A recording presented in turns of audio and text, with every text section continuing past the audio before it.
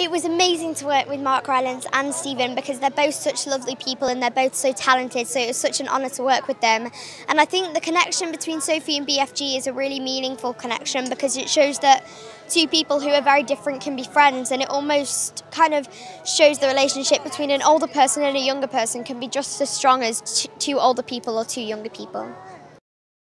I would describe it as a fantastical meaningful story that Roald Dahl uh, wrote and the wonderful Melissa Mathison adapted, and it's it's um, so amazing and it has such a deep meaning, and so it was so much fun.